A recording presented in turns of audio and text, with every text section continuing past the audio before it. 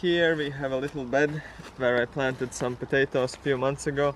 It is a raised bed and it was filled with just some soil and I think I planted like you can see here one, two, three, four, five, six, maybe six potatoes or something. So let's have a look.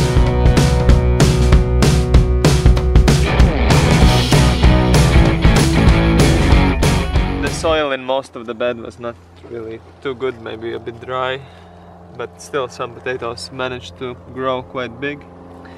It's nice. Probably like four kilograms of potatoes from six potatoes.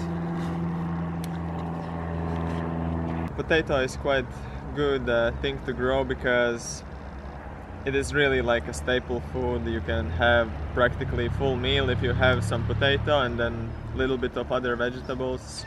You can have a full lunch.